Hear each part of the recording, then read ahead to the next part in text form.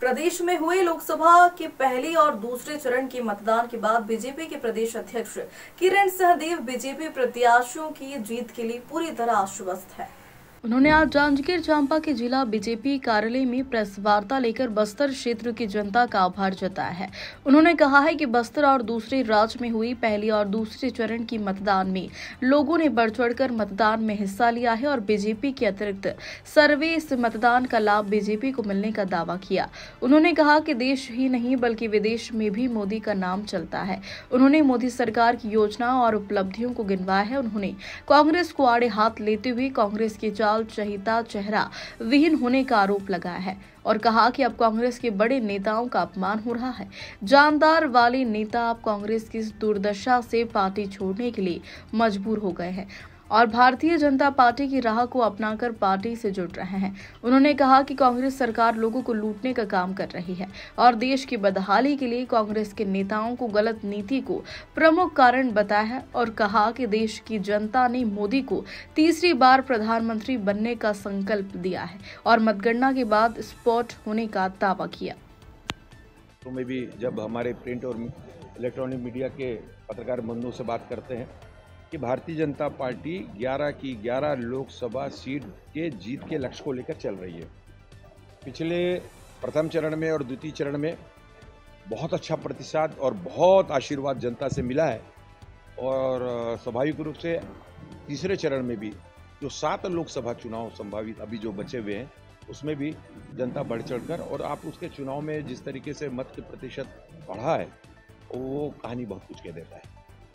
मोदी जी के आने से कितना प्रभाव पड़ रहा है जो लगातार देखिए, मोदी जी देश के नहीं, पूरे विश्व के सर्वाधिक लोकप्रिय नेता हैं।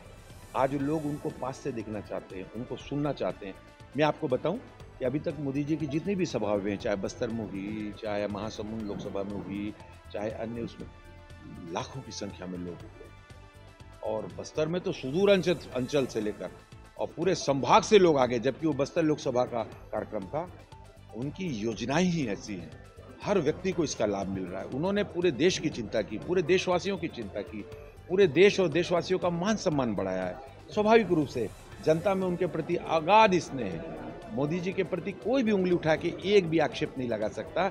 ऐसी पारदर्शिता के साथ दस वर्ष उन्होंने सरकार को चलाया है, देश को संभाला है, देश को आगे बढ़ाया है।